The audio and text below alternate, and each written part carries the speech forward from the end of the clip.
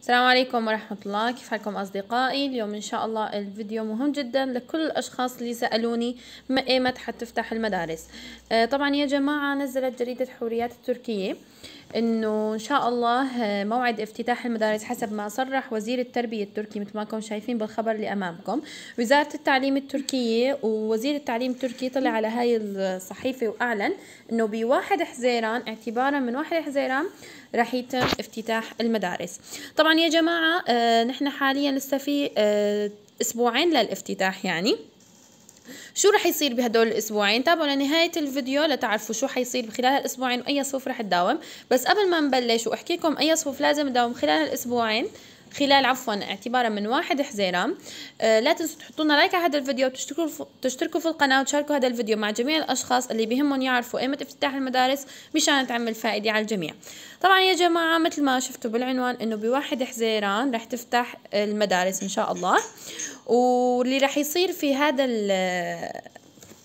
في واحد حزيران اعتبارا إنه اللي الطلاب اللي رح يداوموا هن الطلاب الثامن وال بكالوريا الثاني عشر اللي هن رح يروحوا على الليسا والامتحانات الثانوية. طبعا في منهم بدهم يروحوا على الجامعات. طبعا هذا القرار المرحلة الابتدائية والمرحلة ما قبل الابتدائية يعني الروضة وكمان مرحلة الإعدادي ما حتدخل ضمن هاي المراحل. طبعا رح يتم في شيء اسمه تلافي إيتم اللي هو تعليم تلافي يعني الأشياء اللي ناقصة واللي راحت على الطلاب. طبعا يا جماعة بالنسبة لموضوع الدوام هلأ في شغلتين لازم أحكي عليهم إنه هن الفحصين اللي رح يدخلوا اللي رح يتم التحضير له اللي هو فحص الياكاسي اللي هو فحص الدخول للجامعات التركية هذا بخص الأتراك طبعا والطلاب طبعا السوريين اللي عم يداوموا في الجامعة في المدارس التركية وفحص الليجاسي اللي هو فحص انتقال الطلاب من صف الثامن لصف التاسع للثانوي واللي هو هذا بهم جميع الطلاب السوريين والأتراك. آه، طبعا بالنسبة للدوام الدوام حسب ما صرح وزير التربية إنه راح يكون الدوام آه، زرونلوديل يعني مانو إجباري. وايد طبعا هذا الطلاب هن لهم الأحقية في اختيار إنهم يروحوا أو لا. ولكن طبعا إذا بيروحوا بيكون أفضل لهم أما بالنسبة للتلافي إيتم اللي هو كيف رح يصير؟ عم بيقول عم تخطط وزارة التربية إنه لتعمل لتعمل تلافي لهذا التعليم وتعوض النقص اللي صار عند الطلاب وخصوصا في هدول المرحلتين لأنه هدول أهم مرحلتين في نظام التعليم التركي.